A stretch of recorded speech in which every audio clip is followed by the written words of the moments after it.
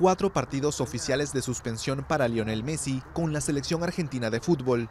Es la sanción que junto a una multa de casi 10.200 dólares impuso el Comité Disciplinario de la FIFA al astro, hallado culpable de haber dirigido palabras injuriosas a un árbitro asistente.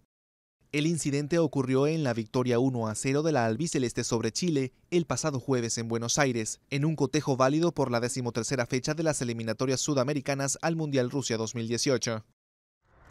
La medida impide a Messi jugar el partido del martes contra Bolivia y siguientes encuentros de la ronda clasificatoria.